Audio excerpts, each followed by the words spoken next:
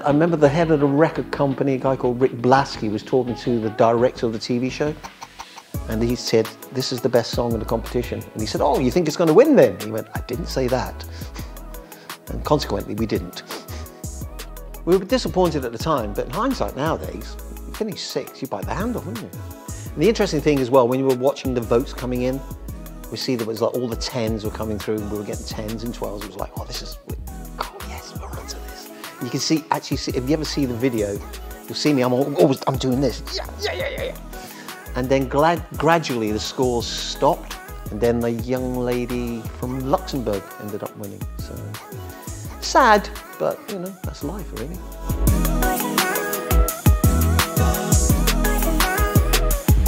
Yeah, very, very nervous. Because um, it's, it's one of those things that could change your life forever. If you win Eurovision, it's huge. In 1983, I believe, in fact, I know it's right. My nan was living in Australia, and I know it was the first time that Eurovision was broadcast in Australia. So there was over 500 million people watching that show that night. So was I nervous? Mm -hmm. Yes.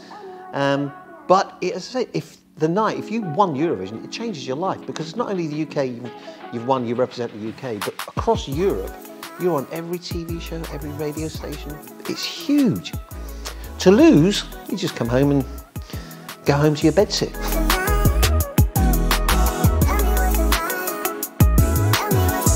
I'm now selling phones at a great little shop called Get Connected in Abergavenny. So if you need a new phone, come see me.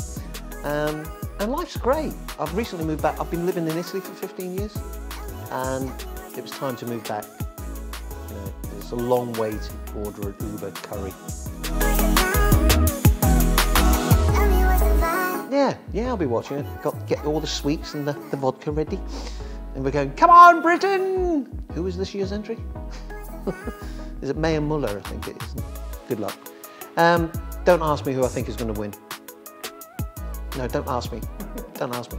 Finland. So when I watch Eurovision, the, one of the questions I'm always asked, do, you get nostalgic for it? Does, does it bring back memories? Well, yes and no. But it's sort of in the, when you speak to your, your grandfather, your granddad, you know, in my day, it's, no, it's a totally different show. I, I don't. I get the feeling that I've done that. Good luck, keep your fingers crossed for you. But it's a totally, it's totally different because you've got semi-finals, got two semi-finals, then a final. When I did it, was just the final, that was it.